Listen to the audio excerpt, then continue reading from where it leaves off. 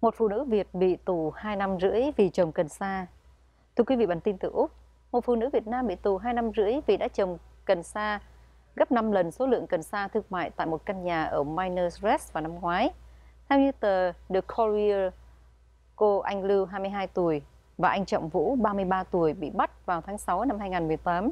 sau một cuộc điều tra kéo dài về những người trồng cần sa bí mật trên khắp khu vực Ballarat. Cặp vợ chồng người Việt này bị bắt tại một địa chỉ trên đường Baxter sau khi cảnh sát phát hiện 54 cây cần sa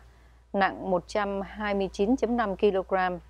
Cô Lưu và người phải sinh con trong tù vào tháng 8 năm ngoái vừa bị kết án tại tòa án cấp quận ở Ballarat vào ngày hôm thứ Năm vừa qua 27 tháng 6.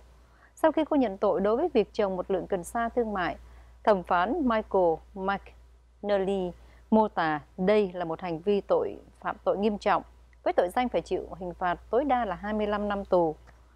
Ông cho biết là hiện vẫn chưa rõ vai trò chính xác của cô Lưu tại một căn nhà trồng cần sa, nhưng rõ ràng là cô ấy đang sống trong công viên, có nhận thức được những gì đang diễn ra và đã nhận tội dựa trên cơ sở đó. Thưa quý vị, theo như tờ The Courier, tòa án nhận được thông báo rằng đồng phạm của cô Lưu, tức là anh Vũ, đã mua ngôi nhà này vào tháng 11 năm 2017 và cô Lưu chuyển đến đó vào 2 tháng sau.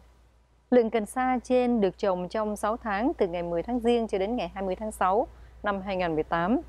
Cặp đôi này bị phát hiện tại ngôi nhà sau khi cảnh sát thực hiện lệnh khám xét vào ngày 20 tháng 6 năm 2018.